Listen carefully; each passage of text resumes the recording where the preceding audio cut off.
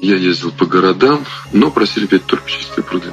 Только чистые пруды или что-нибудь подобное чистым прудам. То есть буквально требовали в Киеве, у меня были сольные концерты в Крылевском зале, и там я пел свои песни. Свои песни, они мне достаточно острые, и на 70% мой репертуар состоит из социальных песен. 30 лирик, 70 социальных.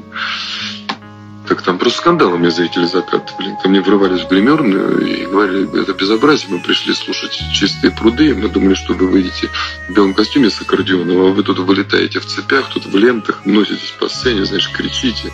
Мы не на такого Талькова пришли.